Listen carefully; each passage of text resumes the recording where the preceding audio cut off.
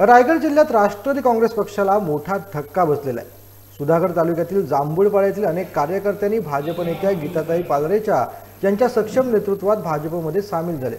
येथील सहा ग्रामपंचायतीचे सरपंच उपसरपंच सदस्य व इतर पक्षाचे शेकडो पदाधिकारी व कार्यकर्त्यांनी भारतीय जनता पार्टीत जाहीर प्रवेश केला सर्व प्रवेशकर्त्यांचं माजी मंत्री तथा आमदार रवींद्र पाटील माजी आमदार धैर्यशील पाटील आदींनी स्वागत केलं आहे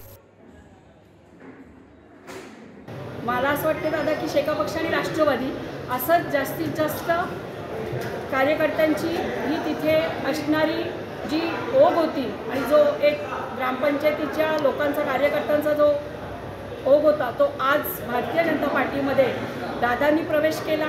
काही दिवसांपूर्वी शेका पक्षाचे कार्यकर्ते दादांसोबत त्यांच्या विश्वासावर विश्वास ठेवून भारतीय जनता पार्टीत प्रवेश केला.